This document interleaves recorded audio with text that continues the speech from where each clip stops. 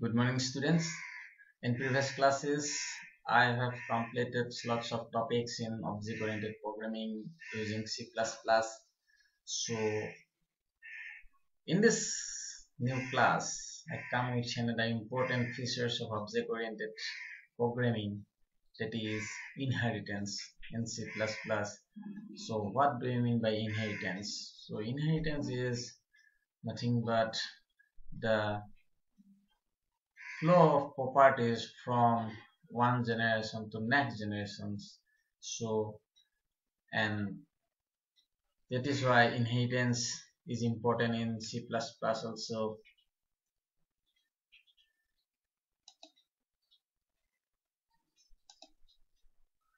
So now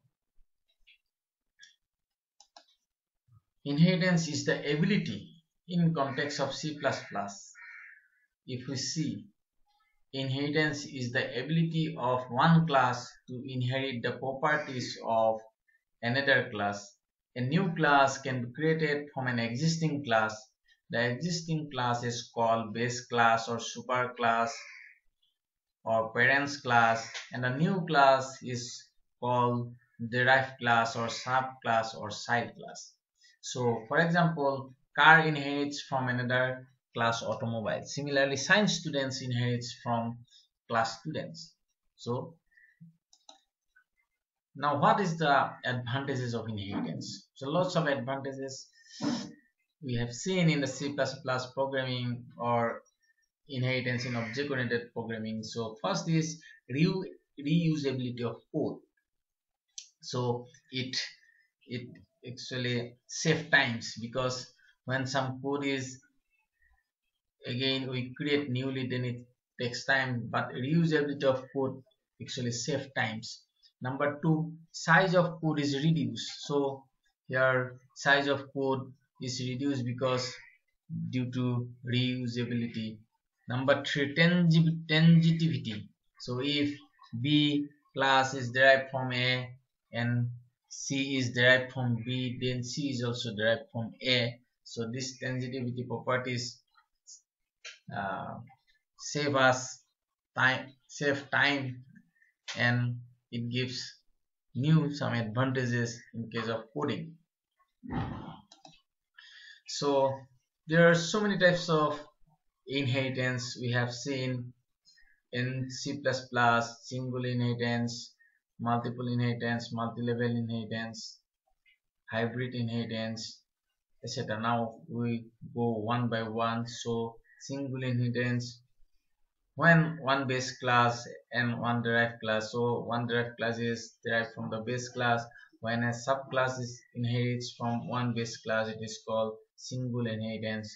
So for example person the base class student derived class. So this is single inheritance. Next multi-level inheritance. So when a subclass inherits from a class that itself inherits from another class here you see b is inherited from a. So again c is inherited from b. So ultimately multi-level inheritance. So when four-wheeler inherits from automobile and two-wheeler inherits from four-wheeler ultimately this is multi-level inheritance. Next. Multiple inheritance that means when more than two base classes and one derived class is derived from both base classes then it is multiple inheritance when a subclass inherits from multiple base classes. So x and y are base classes and z derived classes. So the, the derived class. So there z class is derived from x and y classes. So similarly son or daughter is inherits from father and mother class. This is the simple example of multiple inheritance. Next hierarchical inheritance. That is also when many subclasses inherit from a single base class suppose a is a base class then b c d are derived from class a. So this is hierarchical inheritance. For example quadrilateral is a base class then square rectangle and rhombus. Some derived class from quadrilateral then this situation is known as hierarchical inheritance. Now hybrid inheritance which contains two or more form of inheritance. You see this is the hierarchical inheritance as, as well as multiple inheritance as well as single inheritance.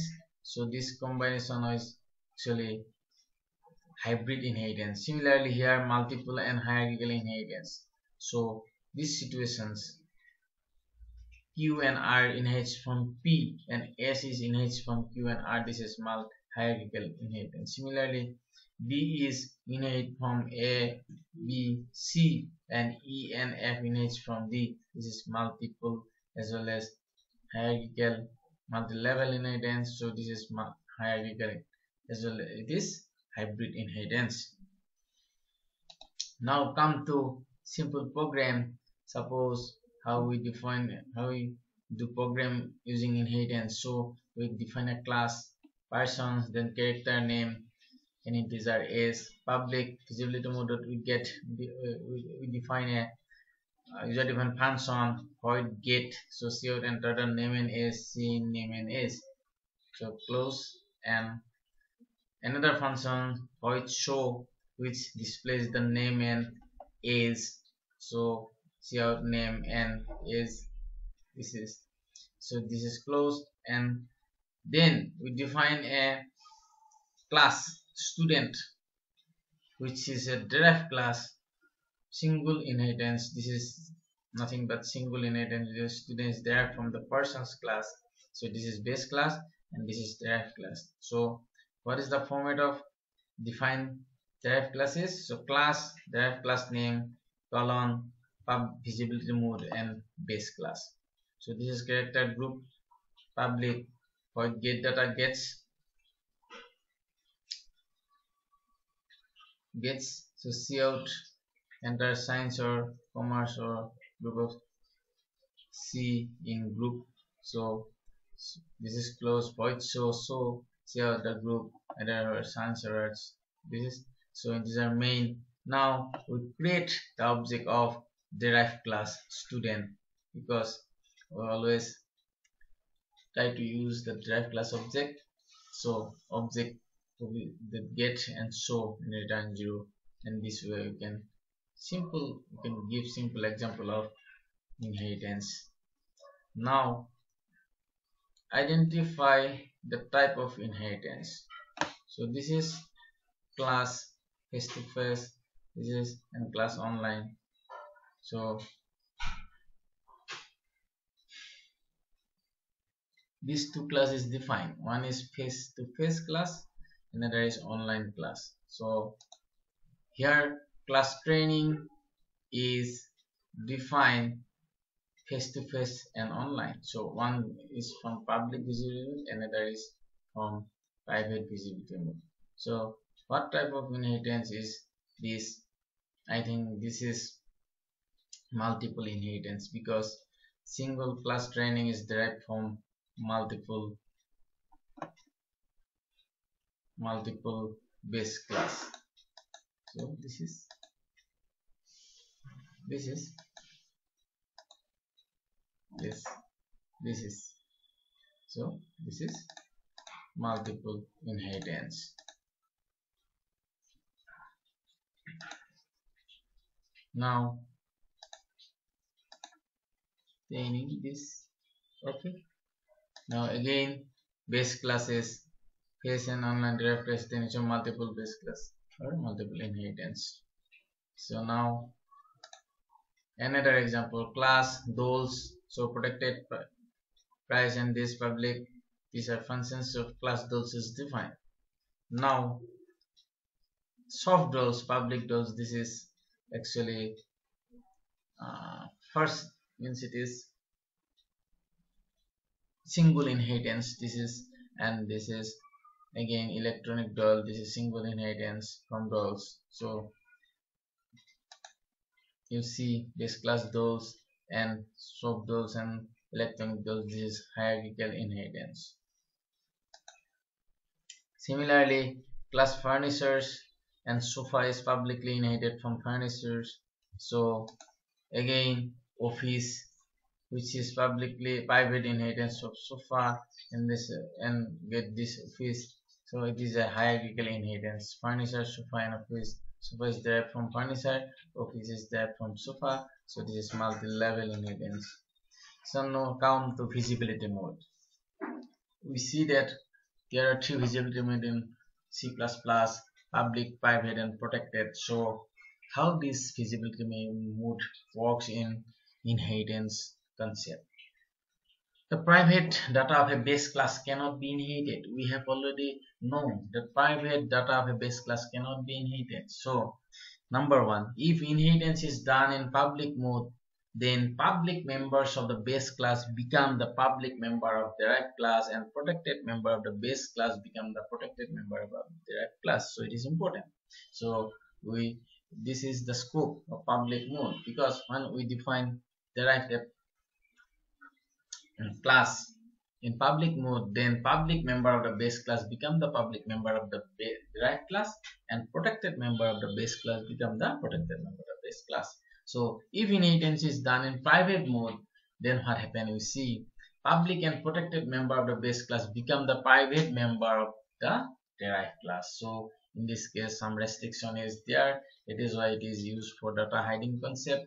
So if inheritance is done in protected mode then public and protected member of the base class become protected member of the derived class. So protected is also has some less scope than public visibility mode because when we define a protected when we derive a class in protected mode then public and protected member of the base class become protected member of the derived class. So if we see the scenario this is to give the best example. So access public protected and private visitor. Member of the same class suppose yes public then protected member of the base. So if we define public then derived classes public and not members. This is public. If we define base class we define protected then member of the derived class is protected and no there is no not members. And if private then if we define a derived class private then all data members of public and protected are become private. So this accessibility of base class members.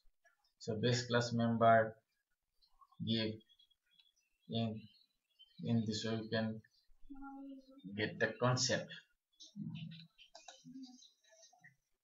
Now suppose we take an example class 1 so this is iostream.h so class 1 an integer value. On the class member and protected b and public c. This is private protected and public 1 so 1 is a constructor. So a equal to 3 b equal to 5 c equal to 10 close void so cout a B, C is this. And we see the class 2 public 1 so integer P public 2 equal to 20 what so integer uh, this is so this is error because not accessible. And these are okay. B and C are okay because A is private. So private members are cannot access in the derived class. That is why B and C will workable work this gives result okay? Is not. This error. Similarly if class 3 is defined from public 2 publicly from 2 then integer x public 3 3 is 100 so this is okay. P is not okay because p is here. P is not accessible b and c okay because why p is not accessible because we see P is the private member of class 2 so we cannot access private members. Now integer main 3 so we, we object created from 3 and see if this is okay public member error because B is private member so so then this gives the results. Similarly if we take another example class 1 private member A protected B public C so ABC so this is now class 2 protected one. Suppose protectedly derived derived to class from 1 then p. P in the public to this this and this is not acceptable because privately private members and other is okay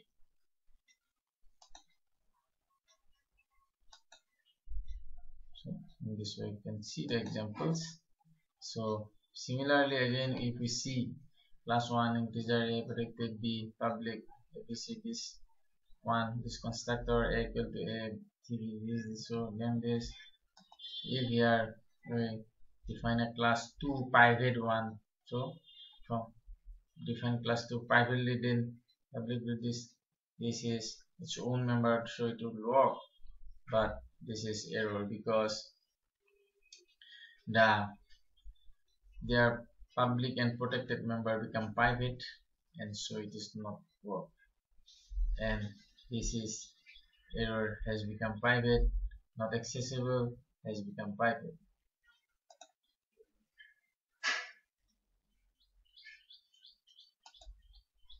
And this way we can conclude this basic concept of object oriented programming and inheritance.